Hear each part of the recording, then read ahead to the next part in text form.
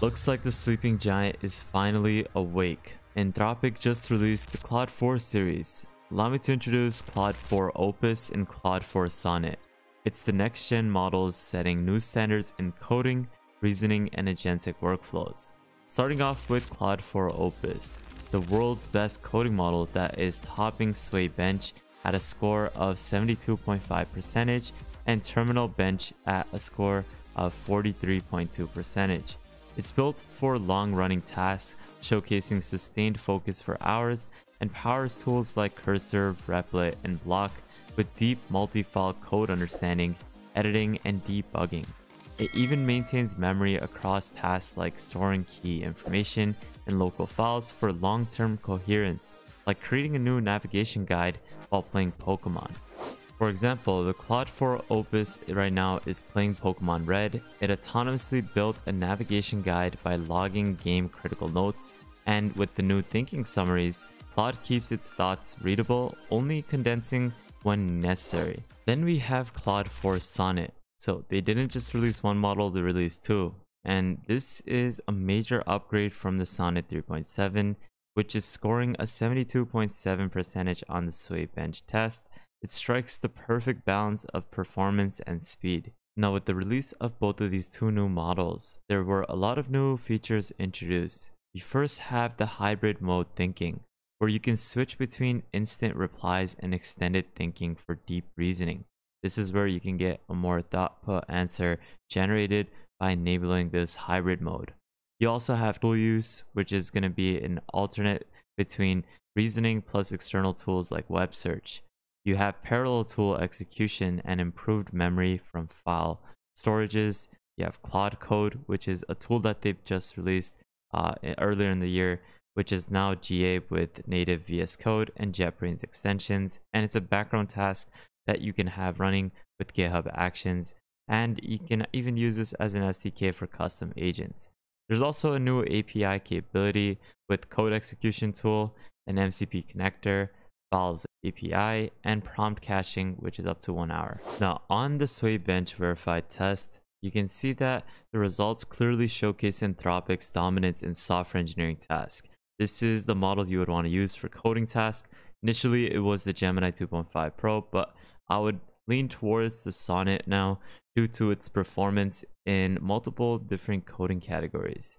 You can see that on this Sway Bench uh, verified test, the Claude Opus 4 and the Sonnet 4 lead the pack with an accuracy of 72.5 percentage and a 72.7 percentage respectively, outperforming all of the other models including OpenAI's Codex 1, the O3, the GPT 4.1, and even when enabling parallel test time compute, the Opus 4 reaches an impressive 79.4 percentage, while the Sonnet 4 tops the chart at an 80.2 percentage.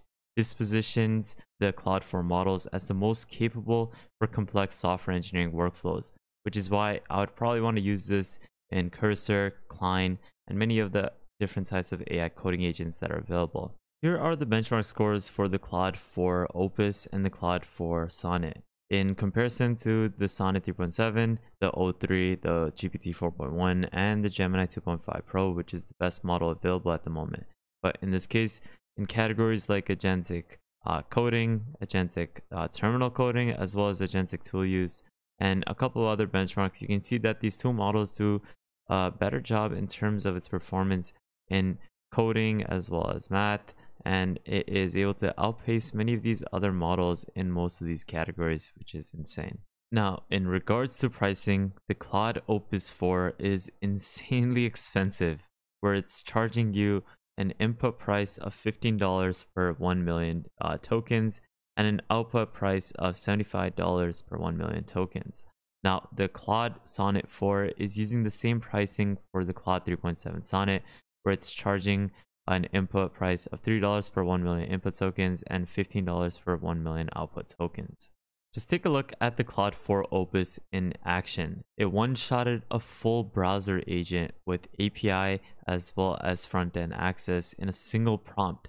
That level of coherence and execution is thanks to three core upgrades that we saw from this new model. You first have the reliable long-term reasoning.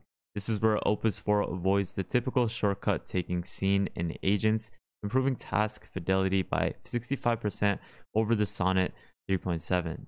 Now, secondly, you have advanced memory through local files, where it can create and update memory files, letting it retain critical information across long, multi-step workflows. And lastly, you have thinking summaries plus a dev mode, which is where summaries condense long thought chains for re readability, while the developer mode is something that's going to give you more raw chain of thought for precise debugging and advanced prompt engineering. These are the core principles that have been now infused into the Claude 4 Opus, and this is why it is capable of reasoning and using context for hours to execute your task. So before we move on to our testing, let's take a look and condense all the information we talked about. The Claude 4 Opus is their flagship model in the Claude 4 series. It excels at complex reasoning, coding, and agentic workflows. It supports an extended memory through local file access and can maintain context and continuity over long tasks. It's great for building autonomous agents, multi-step tasks, as well as tools that require long-term coherence. It's ideal for developers, researchers, and power users who need high performance and full control through their new developer mode. It is best for end-to-end app generation, long context workflows, as well as prompt engineering. Then you have Claude 4 Sonnet, a smaller, faster sibling to the Opus model, and it also features a hybrid thinking mode with instant replies or deeper reasoning when needed. It shares key improvements like reduced shortcut behaviors, as well as tool use and reasoning tool switching, and it offers solid performance at a low latency and cost. Now, if you're interested in getting started with these two models, you can easily use it through their chatbot Claude AI, where you can access both of them. You can also test out the two models within their console. You can access their API as well, and you can even get it through OpenRouter. So you have multiple ways to access this model. Now, what we're going to be doing is testing this model on a couple of prompts to assess how well it is in different coding tasks. Now, what you can do is you can actually use this through Cline as well. And I'm using the Anthropic API provider. I pasted in the API key and we're going to test out both of these models simultaneously. I'm definitely hitting a rate limit, but let's see. We're going to first generate with the Opus and then send in the exact same prompt to the Sonnet. We're essentially asking both of these two models to build a responsive web page using HTML, CSS, and JavaScript that lets users track monthly income and expenses with features like adding, editing, deleting transactions, and etc. And I'm also asking it to add as many features as possible. Now, we'll say the only downside is probably the 200k context length, which is kind of restrictive in having it generate larger context and work with more tokens. So there we go. This is the personal finance tracking app that was generated by the Opus model and it looks absolutely amazing. It was able to focus on all the different uh, things I had requested, even the night mode where you can export different things and you can actually add in transactions and visualize it on the bottom. And now this is the generation I've gotten from the Sonnet model and it does look pretty good. It kind of replicated the same style, but there are certain components that are missing, but you can see it looks pretty good, but I guess the top title doesn't look as good as what the Opus was capable of generating. But still, it did a decent job, so I guess both of these two get a pass. The next prompt we're testing Sonnet on is coding out a TV channel simulator from channels 0 to 9, and we're trying to see how well the model is in terms of generating code creatively and visually generating different animations in p5.js. And there we go. This is the TV simulation generated by the Claude Sonnet model. So let's go through all the different uh, channels. You can see there's a sports zone, a weather zone, uh, cosmic TV. And overall, it actually did a pretty decent job in terms of generating creative uh, different sorts of channels. I'm definitely surprised to see that it did that. And there we go. This is what the Opus model was capable of generating. You can see there's a st uh, static animation when you're switching through all these different channels and you can see the quality that you get in comparison to the Sonnet. This is why they say this is the ideal model you would want to use for code generation. The only concern is the pricing for it. Next up, we're going to have both the models create an SVG representation of a butterfly, butterfly. Next up, we're going to have it create an SVG representation of a butterfly with symmetrical wings and simple styling. This is the generation I have gotten from the Sonnet model. Now it looks beautiful, but the thing is, it doesn't actually look like a butterfly. It just looks like a worm. And I guess you can say it kind of looks like a butterfly with these wings, but to me it doesn't. If it was connected, it would look a lot better. But overall, I guess it get got the best styling done in comparison to many of the other models. But let's take a look at what the Opus was capable of doing.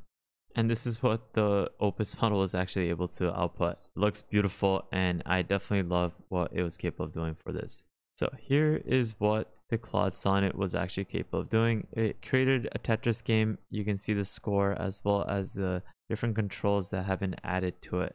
And guys, this is what the Opus model was capable of generating. Now, this is a new type of generation that I haven't really seen.